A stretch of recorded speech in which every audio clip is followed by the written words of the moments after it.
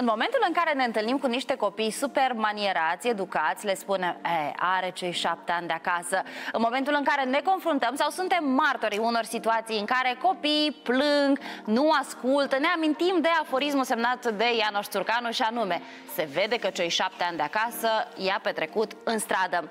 Ne place sau nu ne place, educația timpurie reprezintă un fundament pentru procesul de conturare a profilului unui cetățean responsabil. Iar noi, în procesul de parenting comitem și anumite greșeli și uităm adesea că, deși creștem bărbați, ei sunt copii și au nevoie de afecțiune. În această dimineață o să discutăm despre o campanie uh, foarte bună, inițiată aici în Republica Moldova și anume Cresc un bărbat, dar nu uit că e copil. Alături de mine este Cristina Balangereghi, psihologă. Bună dimineața și bine ai venit! Bună dimineața, bine v-am găsit! Alături de noi este și psihoterapeutul de familie și cuplu Sergiu Toma. Bună dimineața! Neața. Așadar, este o campanie care a pornit de undeva. Care a fost punctul ăsta fierbinte și când ați înțeles că e nevoie să fie abordat acest subiect în societate? Noi, ca și echipă, în cadrul platformei pentru cuplu.md, încă anul trecut am lansat un curs pentru cupluri tinere, un curs premarital și atât am avut ocazia să lucrăm cu părinții tineri, să lucrăm cu cuplurile care se pregăteau să devină părinți și am observat uh, anumite stereotipuri uh-huh. uh, pe care cumva le, le promovăm ulterior în creșterea copiilor noștri. Uh, și cumva aceste stereotipuri erau mai mult legate de băieți. Aș, ne așteptăm că ei vor fi bărbați, că ei vor crește bărbați puternici, uh, Masculul alfa. Exact. Dar, uh, dar atunci când vorbim despre emoțiile lor, noi nu le permitem copiilor să aibă emoții. Mm-hmm. Care este cel mai frecvent uh, cuvânt sau adresare pentru băieții noștri atunci când au emoții? Nu plânge, nu plânge ești bărbat. nu ești fată. Exact, exact. Și atunci noi am observat, când am lucrat încă atunci cu cuplurile și cu femeile, am, avem o experiență mai lungă în spate, uh, că e nevoie să abordăm acest subiect. Uh, ulterior, am început campania printr-un studiu pe care l-am elaborat lucrând cu cadrele didactice, cu părinți, părinții, și anume mamele separat și tații separat, și le-am adresat mai multe întrebări. A fost un studiu uh, în baza metodei Focus Group și atât am scos în evidență cele mai mari provocări în educația băieților de 5-7 ani. Și de aici a pornit totul. O poveste frumoasă și în același timp dură, pentru că e destul de complicat în calitate de părinte să admiți faptul că tu comiți aceleași greșeli, dar exact. o facem în mod involuntar. Noi nu promovăm aceste mituri, aceste stereotipuri pentru că așa ne dorim. Au fost și ele inoculate în educația noastră. Care ar fi cele mai frecvente um, interdicții pe care le punem băieților? Să nu plângă? Ce ar mai fi? Ce se enumeră printre uh, problemele părinților? Sunt foarte multe. Hai să enunțăm măcar câteva. Frică, nu ai Așa? voie să-ți fie frică, tu ești bărbat, cum adică ți-e frică? Uh-huh. General, vulnerabilitatea pe care o arată copiii uh, de sex masculin, adică băieții, uh, ea este uh, de cele mai multe ori în ochii adulților privită ca un lucru așa de care a, trebuie să ne ținem mai, mai, mai departe. Adică nu e, o, e ceva straniu cu chestia asta. Adică când, o, când vezi o fetiță că e vulnerabilă, uh, ai Vrei tendința să, să... Da, exact. Ai tendința să vii, să o cuprinzi, să o protejezi. Și când vezi lucrul ăsta, în, în cazul unui băiat din potrivă, ai tendința să-l respingi și să-i spui, du-te, liniștește-te, uh, hey, când ai să exact, uh-huh. când ai să fii normal, atunci am să pot uh, vorbi cu tine. Wow. Și de fapt, în, în capcana... Bine, și fetele sunt prinse în tot felul de capcani în, în creșterea lor.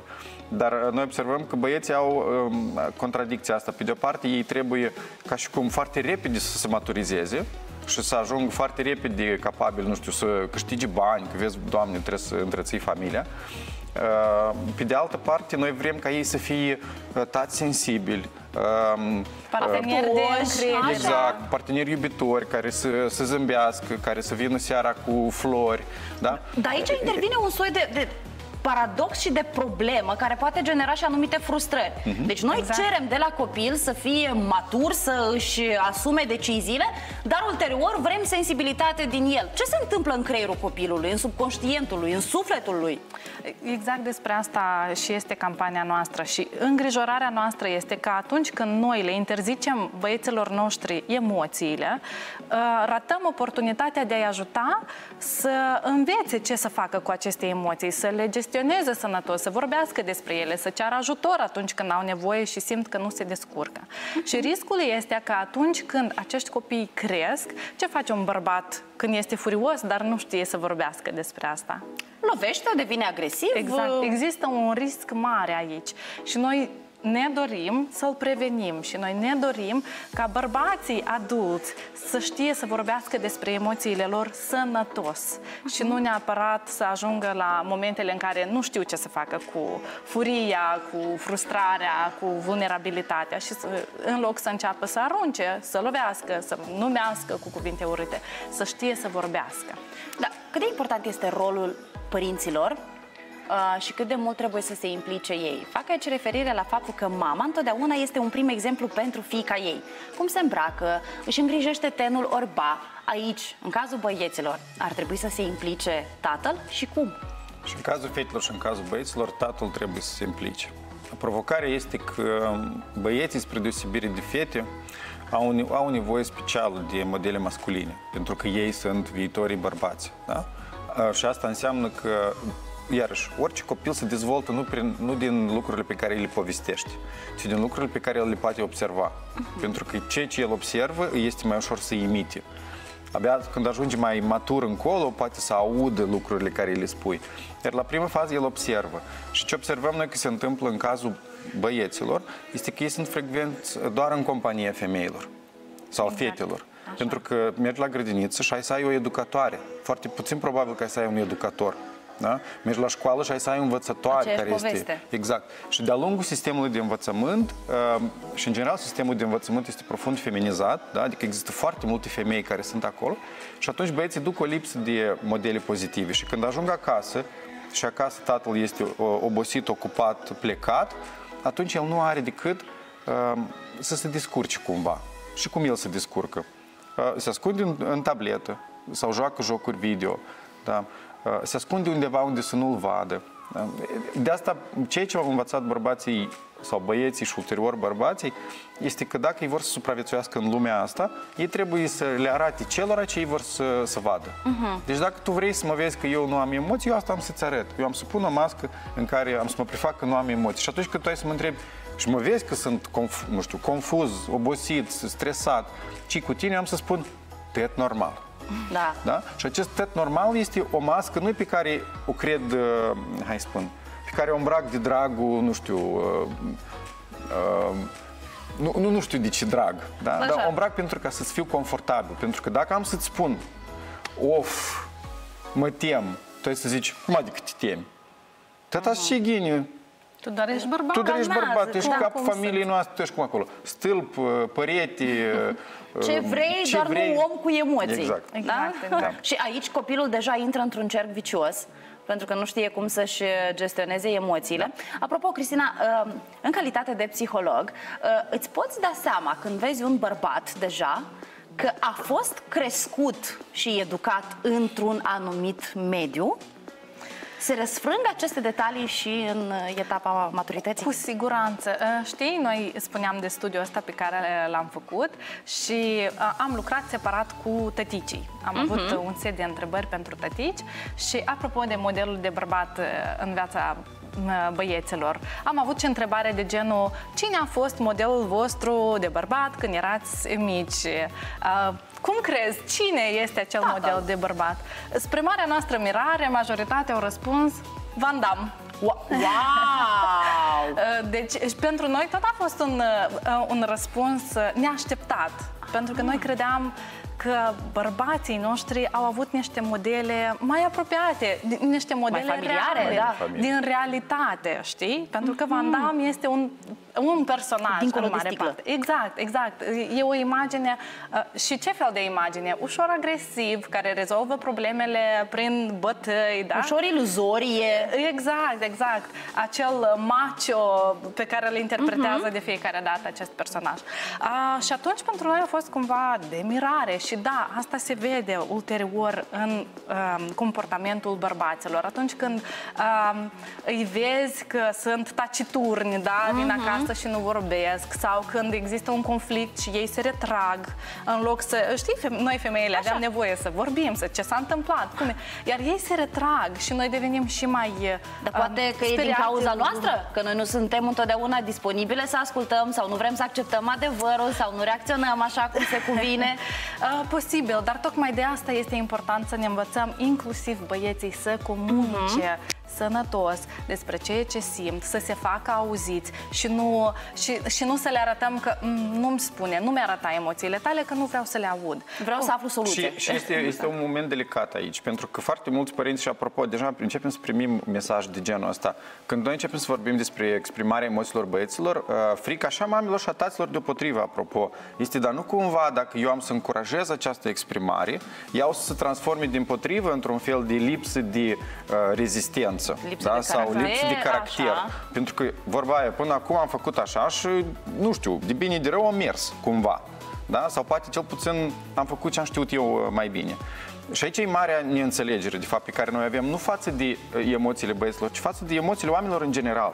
Pentru că noi considerăm că dacă noi exprimăm emoții, da, uh, uh, iarăși, noi nu considerăm asta în cazul fetelor, dar, în fine, dacă noi exprimăm emoții, atunci noi devenim din ce în ce mai vulnerabili. Exact. Povestea este exact inversă. Că, de fapt, în momentul în care tu îți exprimi îngrijorarea, tu, de fapt, ești conștient de ceea ce se întâmplă cu tine, înțelegi mai bine starea pe care tu o ai și situația care a provocat-o. Și abia după asta, după ce tu ai trecut de faza asta de uh, vulnerabilitate, tu ești mai capabil să analizezi și să înțelegi, stai frate, ok, a, s-a întâmplat ceea ce s-a întâmplat, m-am simțit cum m-am simțit, ce fac mai departe? Ce este în puterea mea? Și iată aici este rolul valoros al părintelui și a mamei și a tatei deopotrivă, să-l ajute pe copil la prima etapă să se liniștească, să intre în contact cu ceea ce s-a întâmplat. Pentru că, iarăși, când tu pierzi o jucărie, tu ești trist, tu nu poți să vii la copil și să zici, a, las că-ți cumpărăm alta. Nu, el trebuie să simtă momentul ăla, trebuie să Exact, fie și el e acolo. valoros, el e valoros. De asta, când, când pățesc băieții și fetele lucruri importante, astea sunt momente de învățare pentru ei. Și sunt momente de pregătire pentru viață. Pentru că el în momentul ăla învață să se despartă, să trăiască efectiv uh, supărarea și tristețea pe care tu o ai, o minește. Cei ce nouă, în calitate de adulți, ni se par fleacuri, pentru ei sunt probleme majore. Exact, exact. Pentru că ei nu au experiența altor tipuri de probleme. Sergiu, vreau să-mi spui dacă în experiența ta de psihoterapie, Mhm.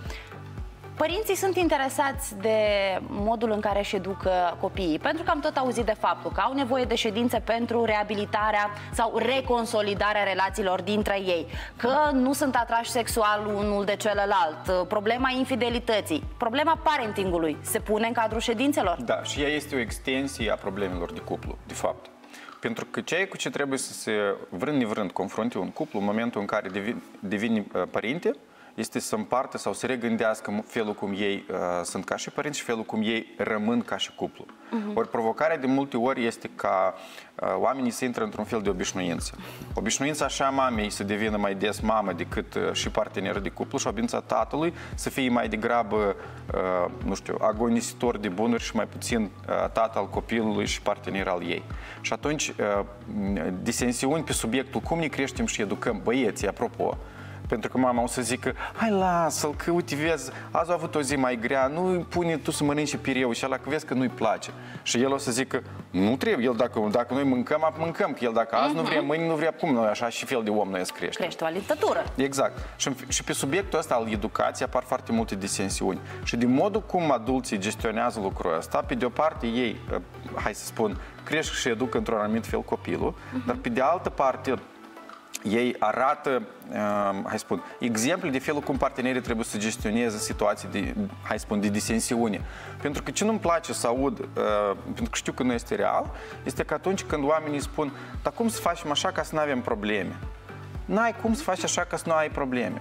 Deci poți să faci doar ca problemele pe care apar, care sunt parte din viață, să fie gestionabile. Și ceea ce o mică greșeală care noi observăm uh, și observ foarte des la, la cabinet este că partenerii de cuplu se ceartă în fața copiilor, dar nu se împacă în fața lor. Și atunci copiii văd doar jumătăți de, de, de hai spun, de probleme și văd doar Aha. problemele, nu văd și soluțiile. Pentru că atunci când se, nu știu, se stinge lumina și îi stau de vorbă și copiii dorm, uh, ei zic, nu, ok, hai, las, nu, uite, am exagerat, nu știu. Dar, dar copiii, nu văd asta. partea aia negativă. Exact. Și se și trezesc atunci... a doua zi, părinții sunt uh, într-o relație foarte armonioasă exact. și ei nu înțeleg ce s-a întâmplat. Da. și mai mult cum asta afectează băieții în, în mare parte, este că frecvent uh, femeile da, vor fi tentate să, uh, hai să spun, să vorbească mai mult da? sau să exprime mai multe nemulțumiri. Și când bărbații vor fi cei care vor fi uh, furioși da? și vor stârni uh, lacrimi în ochii femeilor, băieții vor înțelege că e ceva în neregulă cu tata. Că e ceva în neregulă, că el este cel periculos. Asta nu înseamnă că obligatoriu acolo există abuz și violență. Dar pentru copii, cearta dintre părinți este sensibilă. Și atunci când ei nu văd împăcare, ei înțeleg așa. Mama încearcă să explice ceva lui tata, dar tata e bătut la cap și nu înțelege și doar țipă. Deci tata e rău și mama e bună. Și atunci, dacă tata e rău, ceva în neregulă cu a fi bărbat ceva în neregulă cu a fi băiat. ăsta masculin da. își pierde din da. Uh, valabilitate. Da, și modelul, pentru că tatăl este unul dintre puținele modele masculine pe care le are un băiat. Exact. Și dacă ceva nu e în regulă cu acest model de bărbat, înseamnă că ceva nu e în regulă și cu mine, care urmează să devin la fel bărbat. Dar băieții și deci... bărbații nu pot formula, deci ce noi discutăm, ei nu pot formula ca atare. Deci ei cresc cu această înțelegere, dar niciodată nu pot forma, adică nu sunt conștienți. Pentru că uh-huh. și astăzi, dacă întreb băieții sau bărbații ajungi, bărbați, dacă e ceva în neregulă cu felul cum ei au fost crescuți, eu spun nu, se uită la dânsul și zice, bă, dar da. parcă de treabă. Mă duc la lucru, ei bine, mai servesc nu știu ce acolo, dar în linii mari sunt ok. Da. Adică nu este o chestie ca, ă, despre care vorbim, care este exclusiv din cauza sau datorită educației pe care o primesc din partea fetelor. Nici măcar tații de astăzi nu sunt conștienți de ceea ce noi vorbim. Și, și dacă le stârnim acum uh, stări din astea contradictorii în timp ce noi povestim cei care ne privesc, să știți că exact acolo o țintim. În mm. contradicțiile pe care le aveți, pentru că din contradicția asta, că dacă fac ceva sau nu fac ceva, de fapt începem să ne punem semne de întrebare. Dar oare este suficient ceea ce eu fac pentru băiatul meu? Este suficient să aduc 3 uh, kg de portocale? Sau poate e nevoie să petrec trei ori mâncăm portocale împreună cu copilul o portocală. meu. Sau una. Una singură, da. dar să fie timpul ăla petrecut. Mie mi se pare o inițiativă absolut uh, senzațională și am eu vaga senzație că o să urmeze și episodul 2, cresc o fetiță, nu o prințesă, pentru că trebuie să discutăm și despre celelalte da. preconcepții care sunt în exact. societatea noastră, mult spor. Știu că este o treabă complicată, delicată, dar e necesară. Da. Mulțumim mult!